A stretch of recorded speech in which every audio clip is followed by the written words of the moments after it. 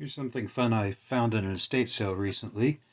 I thought I was buying a pack of 50 CDRs that were marked $2. I got it half off, so that's a dollar. But it turns out they're Napster CDRs, which may have some amount of uh, collectible value to all of you who are Napster uh, collectors out there.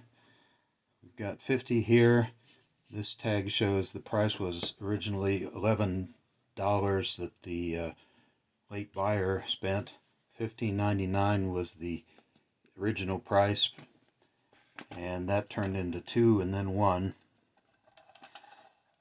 50 CDRs today are worth something like $17, so I know this is worth at least that much, but maybe even more as a Napster collectible.